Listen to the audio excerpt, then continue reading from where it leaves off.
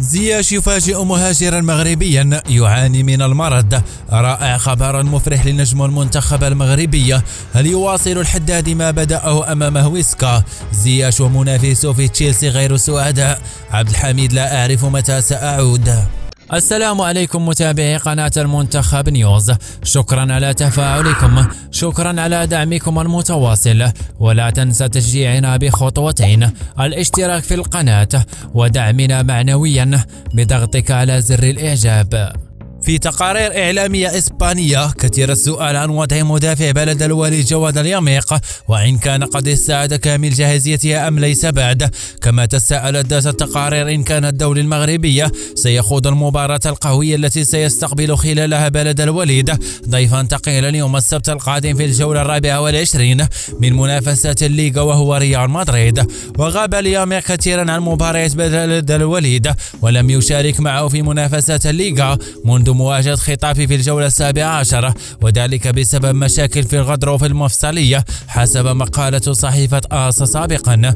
ولم يحقق بلد الوالد أي فوز خلال مبارياته الستة الأخيرة في الليغا ويعاني مدربه كثيرا على مستوى خط الدفاع بسبب إصابة العديد من المدافعين.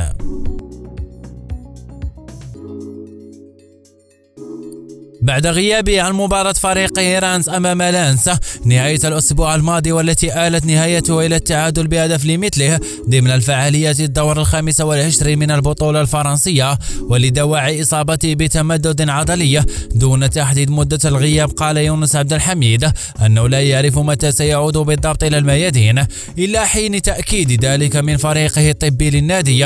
قطعا لا أعرف مدة غياب عن تشكيلة الفريق وآمل أن نتعافى بسرعة حتى أكون جاهزا لمباراة سانتيتيان على الرغم من الأمر سيكون صعبا للغاية ولكن من المفروض أن أكون جاهزا للأسبوع الموالي أمام مونبولي.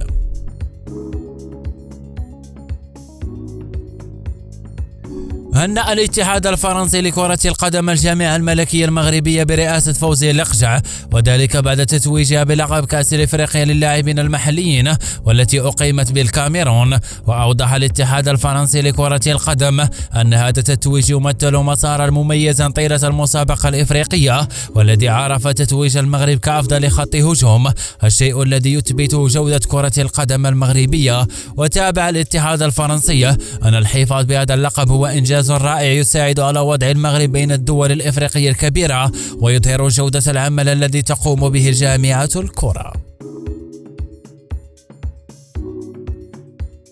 حذر المدافع السابق لليفربول ومنتخب إنجلترا جيمي كاراغر المدرب الجديد لتشيلسي توماس توخيل من عدم اعتماده على بعض اللاعبين في التشكيلة الأساسية من بينهم المغربي حكيم زياش والأمريكي كريستيان.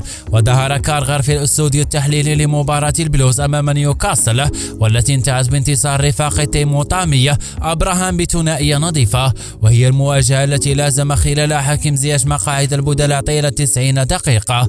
وعلق علق كارغر على تصريح المدرب الألماني بشأن اعتماده على مهاجم واحد وجعل مواطنه تيمو يلعب خلال رأس حرب أبراهام حيث قال أعتقد أنه من المهم ما قاله حين أكد أنه يعمل بشكل أفضل مع مهاجم ثابت أبراهام وجيرو هما يمن يلعبان في هذا المركز وبالتالي فإن خطته تضع فيرنر كصانع ألعاب لنسأل كم من لاعبين لديه في هذا المركز وتابع الإنجليزي تحليله قائلا مونتزيا شوبوليزي بيت إنها خيارات جيدة لمركز صانع ألعاب لكنني أعتقد أن ما حدث للأمبارد سيتكرر مع توخيل أحيانا يبدو من الجيد أن تمتلك هذا العدد من اللاعبين في خانة واحدة وأحيانا يتسبب ذلك في مشاكل داخل الفريق ويجعل بعض اللاعبين غير السعداء في التدريبات. كان منير الحدادي في المستوى تطلعات مدربه جولي لوبتيغي عندما سجل هدفين الأخيرين في المباراتين الماضيتين على التوالي أمام هويسكا وخطاف ليرفع رصيده من الأهداف. حتى الآن في منافسات الموسم الحالي لبطولة الليغا إلى خمسة أهداف. ولم يسعد منير الحدادي فقط لأنه سجل هدف الفوز لفريقه أمام هويسكا أو لأنه رفع رصيده من الأهداف إلى خمسة ولكنه سعيد أيضا لكون لعب كل دقائق المباراة لأول مرة في البطولة طول هذا الموسم. إذ اعتاد أن يبدأ مبارياته من كرسي الاحتياط وحتى إن بدأ أساسيا يغيره المدرب قبل نهاية المباراة. لكن في المباراة الماضية أمام هويسكا كان الوضع مختلفا حيث بدأ أساسيا وشارك طيلة 90 دقيقة.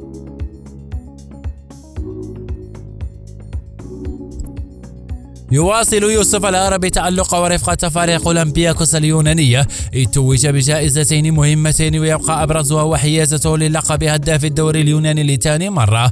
وتمكن الدوري المغربي من الظفر بلقب هداف النسخة الحالية من الدوري اليونانية برصيد 18 هدفا فضلا عن فوزه بجائزة أفضل لاعب أجنبي يمارس بالدوري ذاته ووقع المهاجم المغربي على عقد جديد مع فريقه اليونانية ينتهي في صيف 2022 علما أنه كان قد انضم إلى النادي اليوناني في فترة انتقالة الصيفية موسم 2019 قادما من قطر.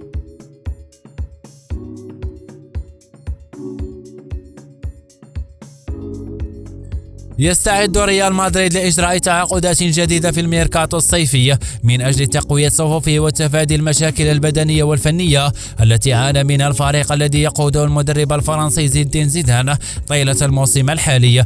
وأكد برنامج إسباني أن معاناة ريال مدريد من غياب داني كارفاخال لعدة فترات بسبب الإصابة. دفعوا للبحث جديا عن خيارات أخرى لشغل مركز داير أيمن في تشكيلة الفريق وأبدى النادي عزمه للتحرك من أجل استعادة أشرف حكيمي من الإنتر. وأودع ذات المصدر أن الإدارة المدريدية تشعر بالندم لأنها كانت متسرعة بخصوص بيع عقد حكيم لنيراتزوري في الصيف الماضي خاصة وأن موافقة زيدان على تسريح اللاعب جاء يضغط من إدارة النادي التي كانت تطمح لضم مزيد من الأموال في خزينة النادي.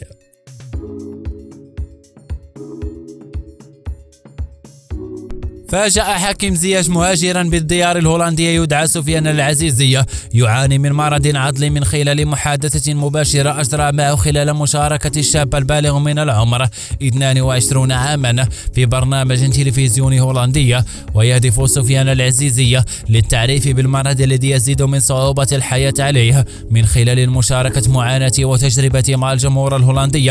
قبل أن يتفاجأ بتلقي اتصال مرئيا من نجمه المفضل حكيم زياش.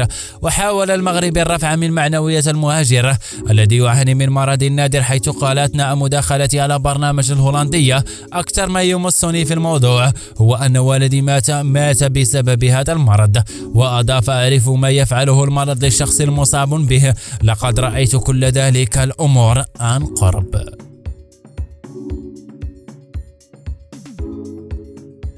عبر الدولي السعودي وقائد النصر السابق هاشم مسرور الرأي في نجوم الفريق بعد الهزيمة القاسية أمام الشباب برباعية نظيفة ضمن منافسات الجولة الثامنة عشر من الدوري السعودية وقال سرور عبر حسابه الشخصي على تويتر لن نتحسر على ما فات ولكن لو تكلمنا بواقعية وعن ما حصل للنصر حمد الله وأمرابط وخالد غنام كانوا بعيدين عن مستواهم الذي نعرفه وتابع صليهم أداهم هدفا محققا وحمد الله أداء ركلة جزاء وثلاث عرضيات من المفترض أن تسجل ولكن قدر الله ما شاء فعل وأتم سرور أتمنى في القادم الأيام أن يكون أمر ربط حمد الله وخالد غنام. على الدكة البدلاء وأن يأخذ مكانهم من يستحق.